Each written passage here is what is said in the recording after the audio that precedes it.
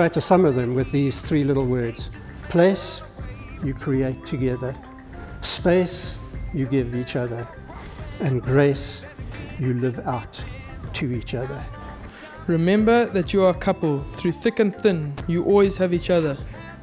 Never neglect that or forget that. Embrace it and nurture it. Communicate to one another, as communication provides honesty, loyalty, and understanding. 'Cause I'm on top of the world, eh? I'm on top of the world, eh? Waiting on this for a while now. Paying my dues to the dirt. I've been waiting eh? Been holding it in for a while, eh?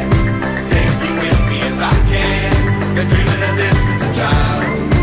I'm on top of the world. But one thing I can say to Amelia is this if Nick turns out to be half as loyal and supportive a husband as he has been a brother, you can look forward to a very long and happy marriage. We are really fortunate to have such a fantastic relationship. We genuinely are best friends and make a formidable team. The last two and a half years have been my best years. I'm more happy now than I've ever been.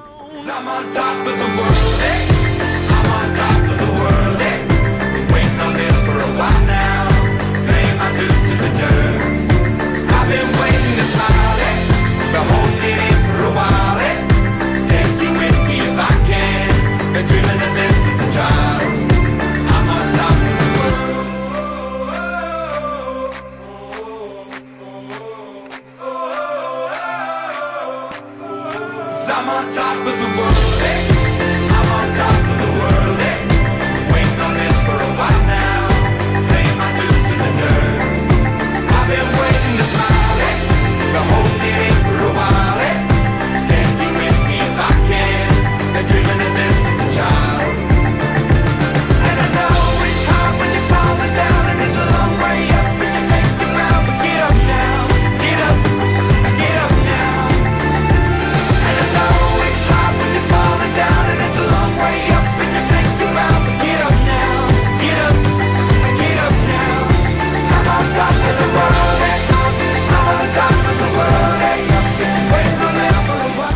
To me, Amelia has all the qualities that anyone could ever wish for in a wife.